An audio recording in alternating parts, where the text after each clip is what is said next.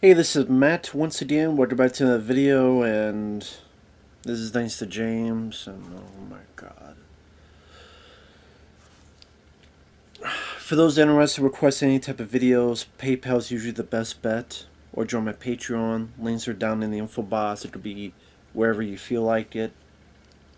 Well, it's wherever YouTube is, the info box, but it could be for anything you feel like a topic, a tier list, a commentary, a video game let's try, a playthrough, a review, a re-review, whatever the case. Thank you, James, for that. And anyone who has sent it. For those who have, I'll get to it as soon as I can. So James had me watch Bel Air Season 1, Episode 1, that for some god-forsaken reason is successful. Got two seasons. Apparently, there's a third season coming out in, I guess, this month. August 2024 that I guess someone did this short fan trailer for a very serious Fresh, Fresh Prince of Bel Air, which I thought was the dumbest idea, but apparently for Peacock, who's such cock, people liked it. It was successful, and I'm watching this. I'm like, why? Take the Fresh Prince of Bel Air, how you feel about Will Smith nowadays. It was a good show, like James Avery's Uncle Phil. You know, the original Shredder from the old Ninja Turtles cartoon. Uh, Carlton with the dance, all that stuff. And make it dour and serious and about you know, social status and racism, racism. And the lead character plays Will Smith, or his name is Will Smith, who is doing well in school and basketball. And I guess Darnell, this gang member who likes to drive his three wheelers, challenge him to a game of b ball, which Will wins. So the guy gets pissed, throws the ball, even though there's like 30 damn people on the court not one person saw the guy throw the ball and hit this head game guy. I'm like, really? Not one of you motherfuckers? Like, it's 2022. None of you have a phone that you recording the damn thing? Which is BS. This whole thing would be recorded with a phone nowadays. Someone would be with this, filming the whole damn thing. Be that bullshit, you know. Go on YouTube. You can find a ton of b-ballers and basketball street play on YouTube. So the fact no one's recording with a phone, it's BS. The fact that no one saw this ball being thrown is BS. And so the guy blames uh, Will's buddy, and they beat the out Will's buddy and Will's buddy had a gun, so Will takes the gun and shoots in the air.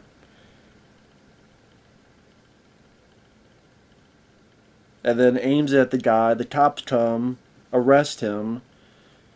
He has connections, Uncle Phil. So while he's in Philly, he gets packed up and shipped out to California because things are a bit rough here and he's with the wrong crowd and the Dane guy's going to be looking for him, all this other stuff. So he goes to Bel Air. And I guess the guy who picks him up, who's the driver, is supposed to be a take on Jazzy Jeff or something? I think it is. Because the driver, I think, is like, his name is Jazz. I think so. I'm like, okay. So he meets Geoffrey, who's a very serious guy, like trying to do his Idris Elba impression. And meets the family. Hilary, Aunt Viv. Hilary's like, oh my god, thanks for coming here. Oh my god. Uh, Carlton, who's a villain pretty much. He's a, I mean, yeah, you could say he was a stick in the mud in the original show. Here he's a complete villain. Oh, Philly City, the brotherly love and cloaked arteries. claw, uh, cloaked, claw doggeries. Every time I think of the word cloaked is I want to cloak myself and the fuck out of this fucking show.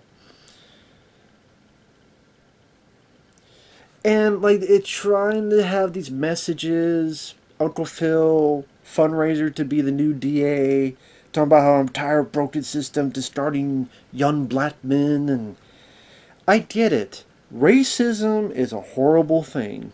It always will be a horrible thing. It's bad. But it gets tiresome when each show or each theme continually beats you over the head with it as if the only thing about black people is racism. And no, that's not the only thing. Because they're people. And I'm a people, you a people, and I'm a pepper, and he's a pepper. Would you like to be a pepper too? There's a lot more to black people than racism. That actually seems a bit more judgmental, more of a knock that the only thing that you can do as a story is racism. That seems very limited in your storytelling capability. Like, there's nothing else. I mean, no, I would think there's a whole lot else. Now, if you want to mention every once in a while, I, I get it because it does happen. I'm not saying you, you can mention it 0%. But for crying out loud, man. when you beat yourself over the damn head with it over and over and over again, it gets tiresome. Like a victim. Like a victim complex. And that comes into play here because our Carlton's buddy is white and he's seen these lyrics that are have some N-word among them. And Will confronts him and calls like Carlton's like, chill out, chill out, man. You don't just let him do that? Hang with the culture, Carlton.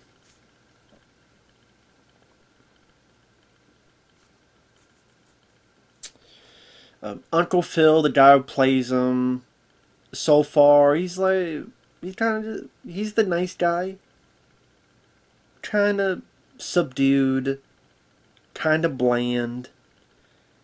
But he's like, hey, I believe in you. I believe in you will be patient.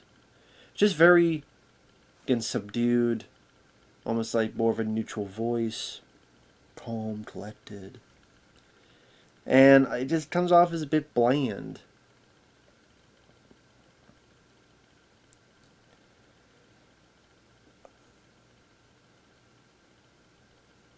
Carlton likes to play lacrosse. Hilary likes to dress Will up. Will's trying to talk to people at this fundraiser and talks to a lady who I guess used to go out with Carlton. Although with how prickly he is, no wonder she's not with him anymore. So at the party, Carlton sees Will with Lisa. That was her name, which I think she was on the show later on. In the original Fresh Prince. At, at the end, at one point, he gets pushed into the pool, Will does. Someone helps him out. He almost drowns. He goes up and punches the white guy and Carlton in the face.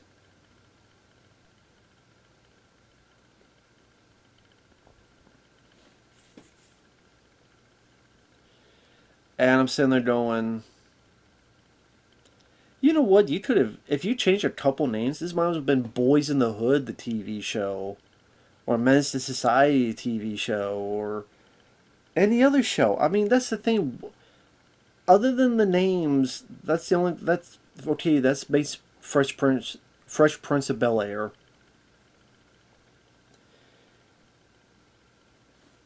I just never understood why a serious Bel Air show, a Fresh Prince of Bel Air, was such an enticing idea to people. I never understood that. So you don't have any of the personality, and let alone any of the humor, any of the wit that was in the original show. Most things are very dour, very serious. I don't know if I want to say melodramatic, but just I don't care about the characters. I don't care. I mean, I wouldn't say the guy playing Will is bad. I wouldn't say that. It's just that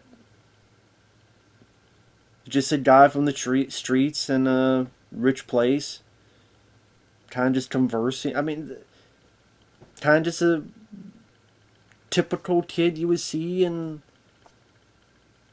any number of movies about the hood and about the streets and all that. And that's what I mean. It doesn't really make it feel like anything special or anything unique or anything out of the ordinary, out of the ordinary in a good way.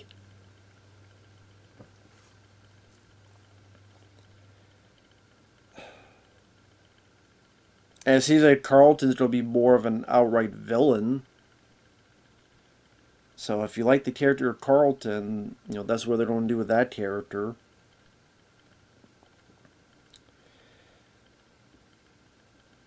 And Viv is just, you know, nice. Uncle Phil right now is just nice.